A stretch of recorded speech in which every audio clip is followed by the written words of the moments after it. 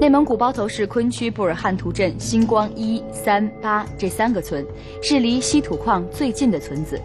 它东面是钢铁厂主厂区，西面是尾矿坝，西北是稀土厂，西南面是工业垃圾场和热电厂储灰池，被夹在工业厂区的中央。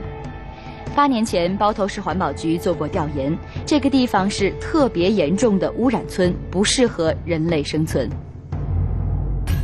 除农耕外，这里的村民多年来到工厂打工，获得微薄收入，再回到被污染的家中领取污染补贴。受化学物质侵蚀，地下水中带着棕色的沉淀物和隐隐挥发的臭气。农田产量与五十公里外的村落相比，只有六到七成。饲养的牲畜也容易产生畸形器官。村西的尾矿坝被称作稀土湖。稀土湖原本是钢铁厂提炼矿物之后残留的尾矿渣堆积而成，湖中稀土的含量已经高出北部白云鄂博矿区稀土矿石中的含量。近年来出现了偷盗尾矿砂、走私稀土的情况。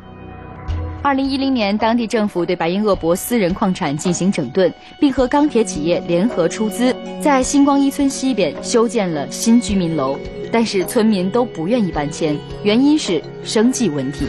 村民说：“虽然留下还要忍受污染，但离开就连仅有的耕地也会失去。”中国是全球稀土产量最大的国家，占到全球产量的百分之九十五以上，但也是稀土污染最严重的国家。主要包括这个抗、乙、三、蓝，嗯嗯四，然后等等十七种元素。其中有研究表明的话，这个抗它是可以导致这种小白鼠死亡；乙的话，它是有这种对人体是有致癌作用的；三它是有这个放射性比较强的，这个呃土壤、河流都会产生很大的一些影响。